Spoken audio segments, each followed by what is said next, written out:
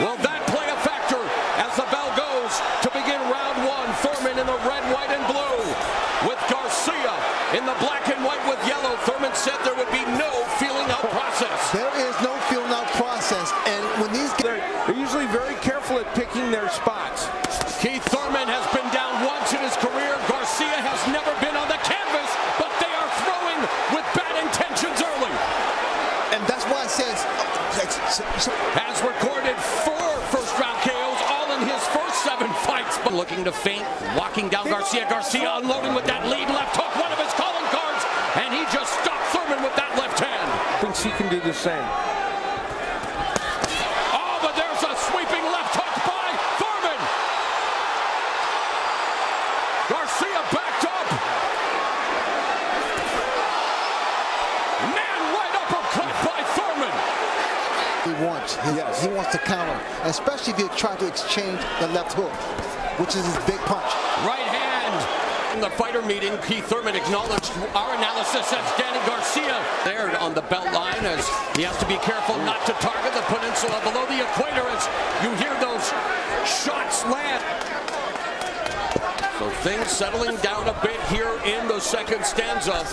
But there's a nice right uppercut on the inside by Thurman. And a left hand that lands for Keith. One time Thurman. Overhand right and another right. These fighters were talking trash, which I, you know, which, which we all do. Oh, man. Here's Hook. Garcia doubled over. Talking Thurman to the occasion. On the sport's biggest stage. Oh, but there's another thudding. Even just using those rangefinder jabs has helped Oh, him in this fight. That was a short left beautiful hand and a left shot. hook and a right hand by Garcia. Great body work by Garcia. Garcia rolled with and the head movement of Thurman, timing the jab, avoiding it that shot, working it ready.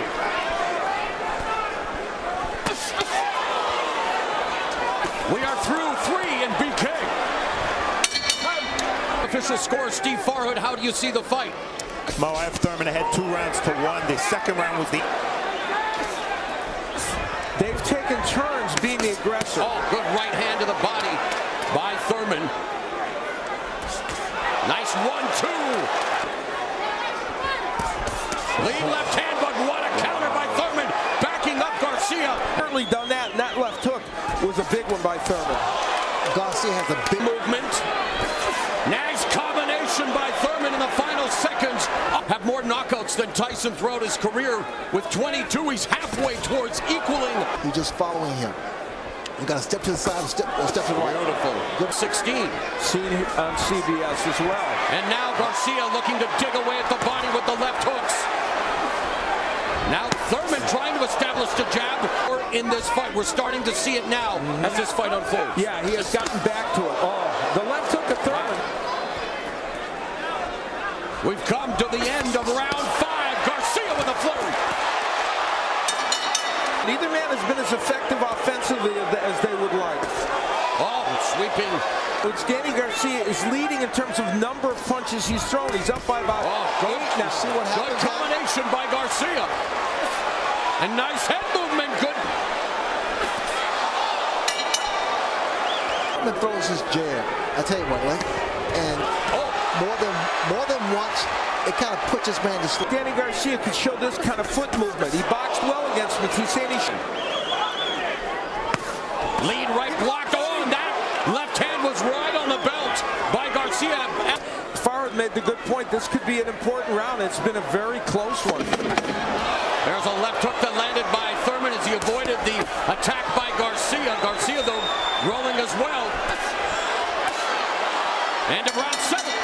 There's power in this weight class yet. Good exchange.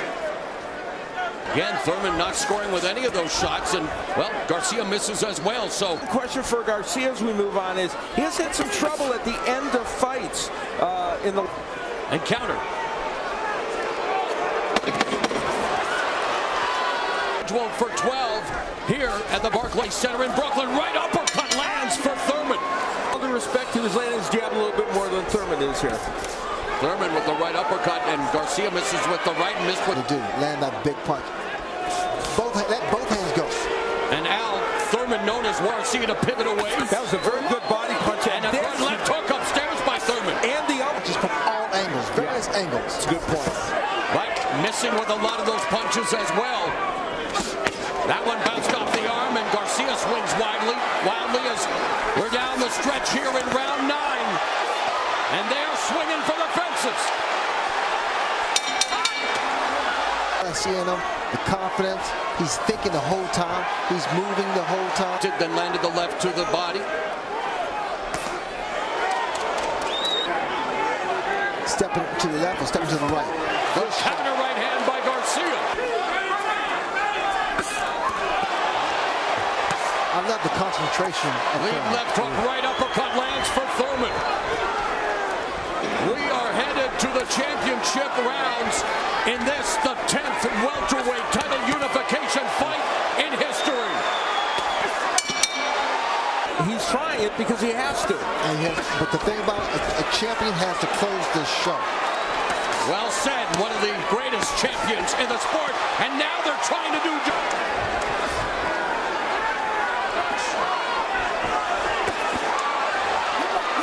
Are we going to hear survive the welterweight title? And Keith Thurman, Danny Garcia looking to put it all on the line as Thurman stings Garcia with that.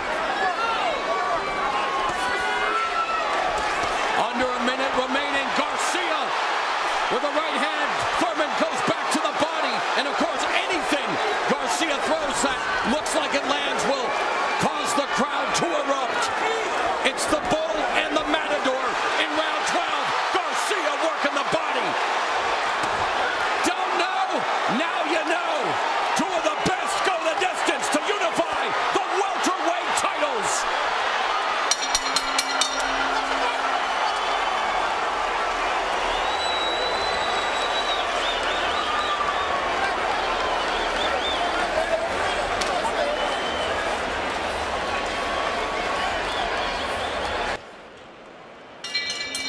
Ladies and gentlemen, after 12 rounds of action here at Barclays Center in Brooklyn, we go to the scorecards. We have a split decision. Judge at ringside, John McKaie scores about 116 to 112 in favor of Keith Thurman. Judge Kevin Morgan sees about 115 to 113 in favor of Danny Garcia. And judge at ringside, Joe Pasquale scores about 115 to 113 in favor of the winner. He is still undefeated. He is now the WBA and WBC Unified Welterweight Champion of the World. Keith One Time Thurman.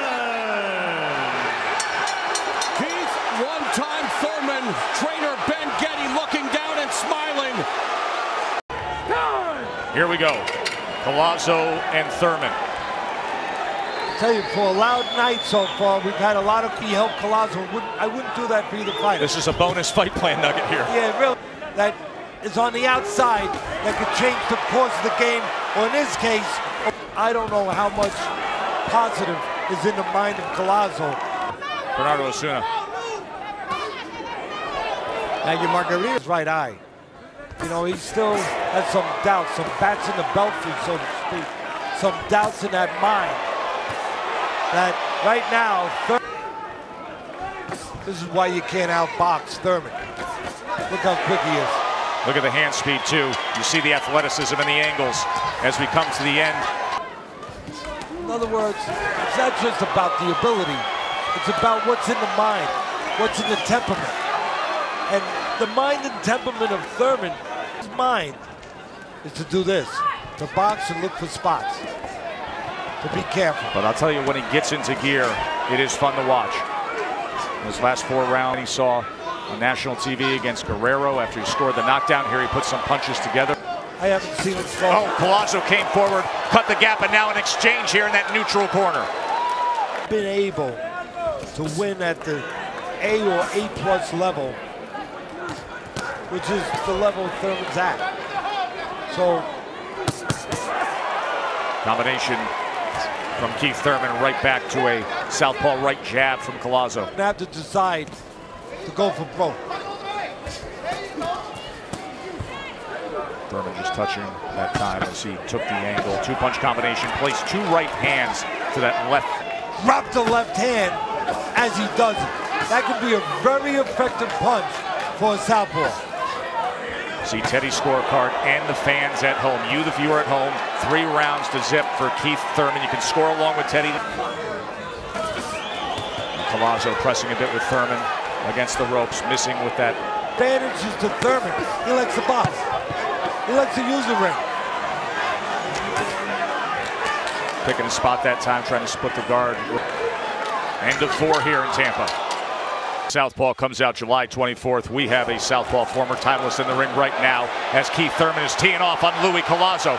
Good series of an offense. Seen so far from Keith Thurman. The only complaint he has is on him. It's a great intellect.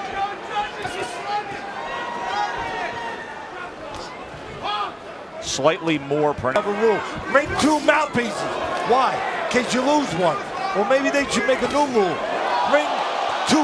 Bring two belts. Collazo with his best work. It looked like it hurt him in the body a little there. Went to the body and had success here at the end of round five, and now he's trying to chase down the unbeaten Keith Thurman. Looked like he hurt him a little bit to the body, and that's the right place to go. Downstairs, and he did. Look at Collazo on the attack against Keith Thurman. Thurman's looking to wrap up. That's where you want to go if somebody's moving. Take the air out of the tire. And that's exactly what Collazo. Earlier tonight, we saw an upset knockout win from an underdog against by hurting Thurman, but no bell. Hey, as long as we got a good fight in the ring, let's go.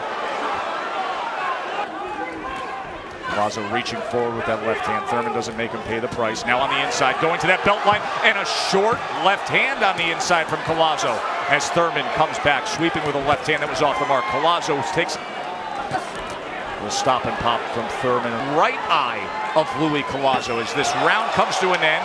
And a right hand from Keith Thurman as Collazo fights on.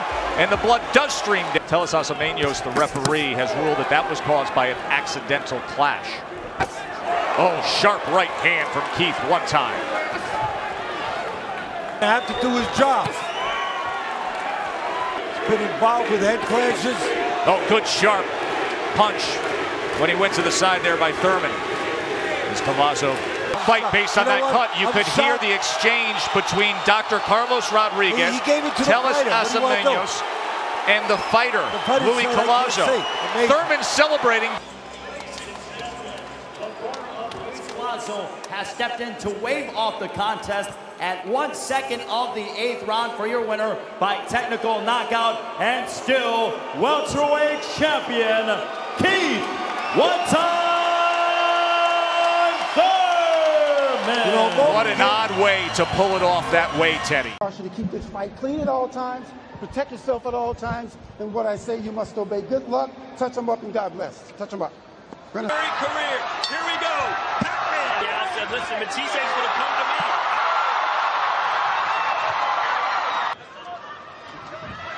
Pacquiao's been in there with some of the biggest and the best. Matthysse down. He didn't about him, but he's been in there with Miguel Cotto. He's been in there with Margarito. Something rarely in a boring fight. Got chosen the 2014 fight of the year against John Molina Jr. A fight he won by 11th round knockout.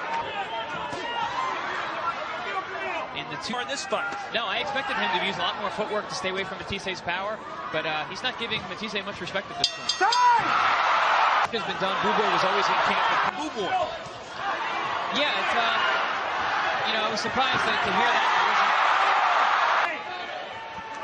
Pacquiao told us he thought that Matthysse was going to come to him, but Boxing skills, and that he, would, they was going to use more of his actual boxing instead. Matthysse said he used to be more of a boxer, but got some some bad decisions that didn't go his way. He said I had to change my style. I don't want it to go to for 12. There's a nice little right hand from Pacquiao. Pacquiao is just showing launching an attack. They're actually already getting countered. There's a counter left from Matthysse. Didn't have a lot behind it.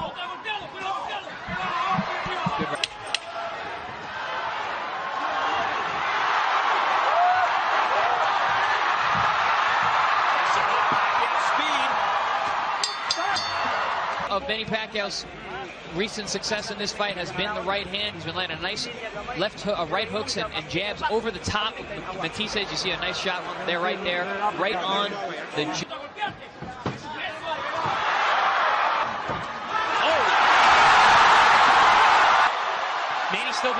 Being. He has a dangerous man in front of him.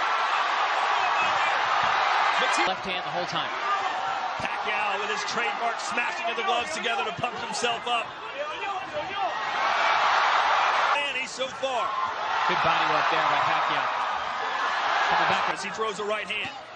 It certainly seems so. Using his right hook to, to slide that left uppercut right through the guard of Matthysse. He's been using that right hand the first two rounds, set Matthysse up perfectly. He ducks to his left, eats that uppercut, gets put on the seat of his pants. Beautiful shot. Didn't see it coming. As I always say, the punch you don't see is the one that hurts you the most.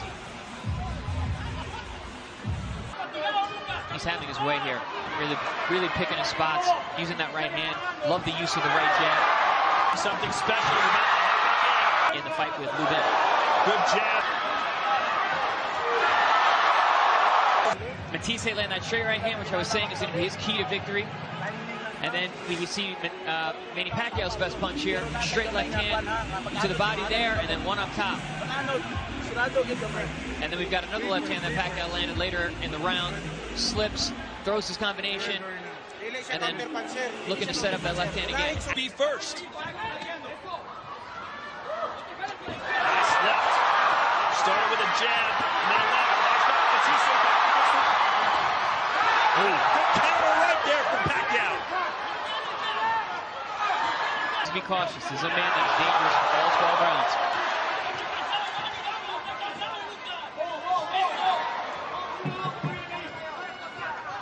Ooh, and a left hand, a good one, and it landed right on the butt. And there's a right hand. Finally, Matthysse finding some. The best round so far for Matthysse. Not sure what. Jab. Lands the jab there. Flicks another jab and wings a right hook over the top. Slicing right hook seemed to just nick Matthysse under the eye. One more look here. Okay. Yeah, it, it, it it's shot in the temple. A lot of times that can that can championship of the world on the low line. blow, and a very low blow. You're right, but it may not be him that gets the win. You can sense the I don't know if it's fear, but the concern. Fourth time before he got knocked out. Staying very composed, using his right hand. Making Matthysse miss and reach. Matthysse caught him there, but Pacquiao handled it very well. And it's still good at changing his range and making you miss and also reach. And now, just like he did in the last round, Matthysse starting again. And the left hook. And the body shot as well. Now firing back. Maybe catch um, Pacquiao as he's coming. Still trying to find his rhythm. Much needed seconds to break. Yeah, um, Matthysse was trying to counter underneath one of the shots of, of Manny Pacquiao, one of his combinations. Dream come true, said it was a great honor.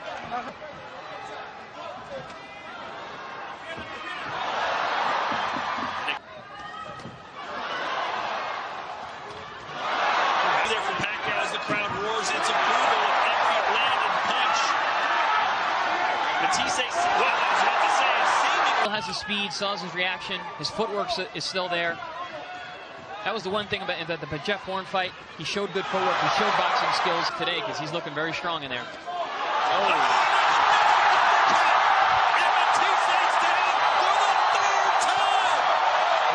Is out. And that's it! It's over! Manny Pacquiao is back in a big way! So hold the right hook, and then the left hook. And it doesn't come out right away. It wasn't because of the punch. Again, walking Matthysse into that left hand, and he threw it right at the middle. It wasn't the hardest shot. Who's going to say no? I think we'll see exactly what we've been seeing all night. Manny Pacquiao using the right jab. Uh, Lucas Matthysse dipping forward into his right, right into the left uppercut, timed perfectly by Manny Pacquiao.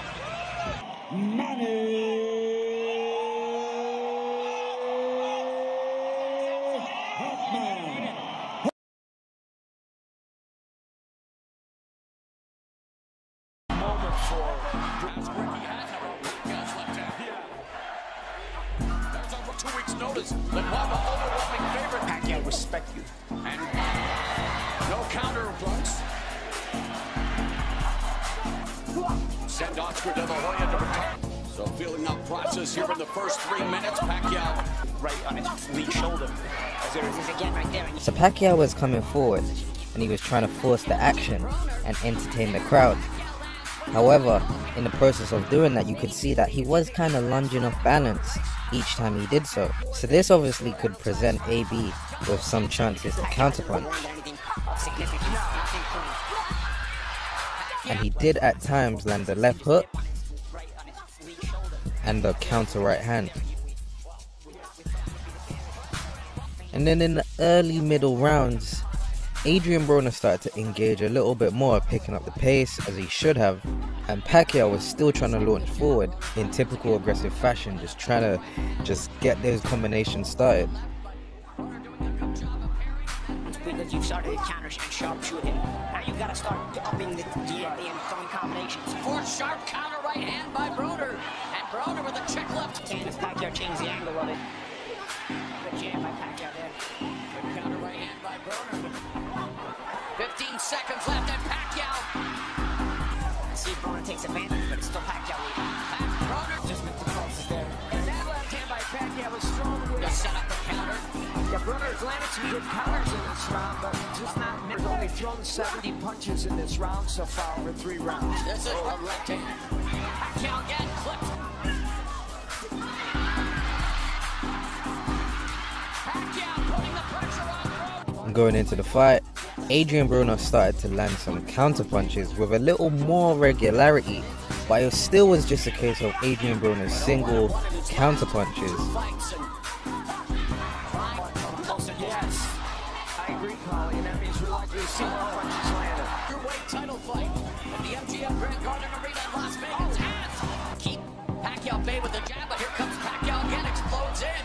Manny started to switch it up by going to the body to set up some of his attacks, and he was doing well with that. And that's a good straight left hand. That was one of the best body punches he's had and at these shots. And, and it, it, it, a lot more the point you feel like you have that radar strong. In the seventh round, Pacquiao caught him with his trademark left, and he started landing some devastating punches. I was like, damn, is he gonna get him out of there? Pacquiao would get his left hand in. Now that was a left hand thrown with uh, authority, and it hurt.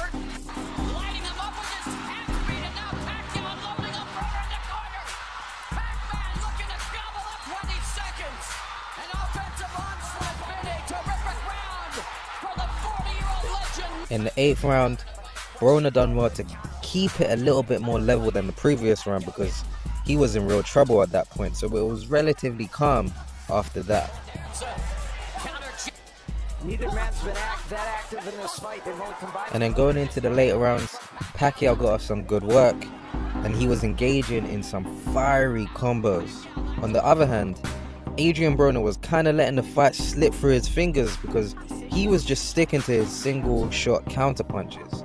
And it was frustrating to see because Adrian Broner, just like everyone always said, he just doesn't let his hands go. The championship rounds, the energy was still quite competitive with AB offering some punches at certain point. But Pacquiao, the 40 year old man, didn't let his foot off the pedal and he was still engaging in some exchanges.